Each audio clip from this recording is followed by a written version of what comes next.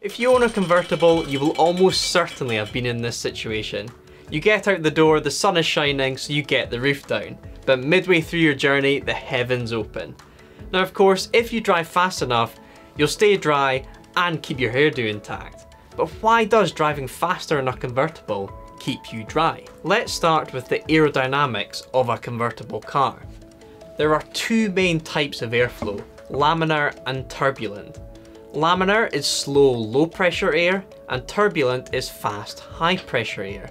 Also, when a fluid, like air, passes over a car, there's a thin layer of that fluid that sits just above the bodywork and interacts with the surface, known as the boundary layer. While a car is moving, air flows smoothly up the bonnet and is then diverted up the windscreen, following the body lines of the car.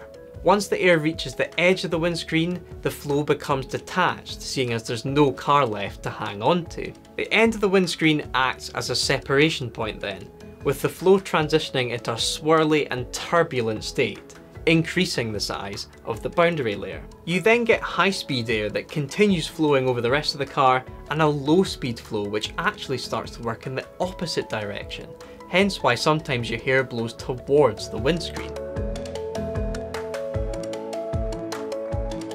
The faster you drive, the faster the air flows over the car and the boundary layer increases in size. When it rains, the boundary layer acts as an airflow anorak, channeling the water over the car and away from your face, if you drive fast enough. So what speed do you need to reach to stay dry? Well, it mostly depends on the angle or rake of your windscreen. Something like a Mazda MX-5 has quite a steep windscreen, which accelerates the airflow and increases the size of the boundary layer, culminating in a more dramatic separation point to turbulent flow. That means at fairly medium speeds, the boundary layer is large enough to act as a dry, lovely cushion of air. Simulations have shown that with a windscreen this deep, you can drive 45 miles an hour or above to stay dry.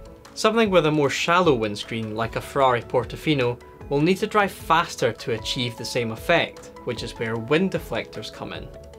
Their job is to keep the airflow as laminar as possible and attached to the car, keeping the turbulent airflow from entering the cabin too much. In a normal convertible then, stick above 45 miles an hour and you'll be as dry as a bone.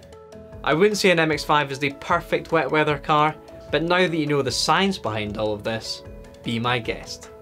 If you like this video, give us a thumbs up and tell me in the comments what you'd like me to explain next.